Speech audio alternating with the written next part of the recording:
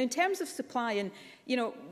I'm not going to go into detail about what we covered last week about, you know, us uh, publishing the expected supply, the UK government demanding that we took that out of the public domain, but being quite happy to brief these figures uh, through spin to the media. So I've said to my officials, actually, regardless of what they say, I think we'll just go back to publishing the actual supply figures uh, from next week so that we all have uh, transparency around that. And